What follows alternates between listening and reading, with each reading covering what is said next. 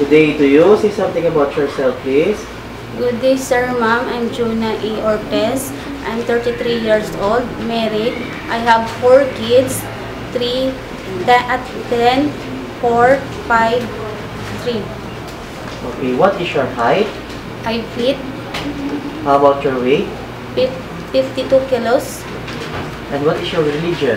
Roman Catholic. Okay. Have you attended a special course or training? No, sir. Do you have experience working as a domestic helper or all-around helpmate? Yes, sir. Where? In Philippines, For how many years? two years. Okay. What were your duties there? Take care of child, cleaning, marketing, and washing. How many persons did you serve in your previous employer? One child, two adult, What is the age of child? Two years old. What is your expertise or specialization?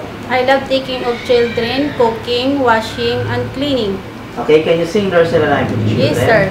Okay, go ahead, A, please. B, C, D, E, F, G, H, I, J, K, L, M, N, O, P, Q, R, S, T, U, N, V, W, X, Y, and Z. Okay, thank you. From what age of children would you like to take care? From newborn to grow up.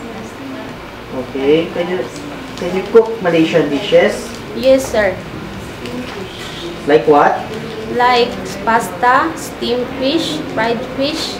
And are you willing to learn more in your training? Yes, sir. Are you willing to look after an elderly or bedridden person? Yes, sir. Jona, would you like to say something to your prospective employer?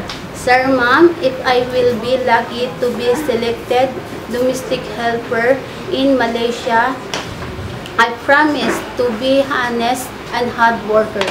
Do you promise to finish your two years contract? Yes, sir.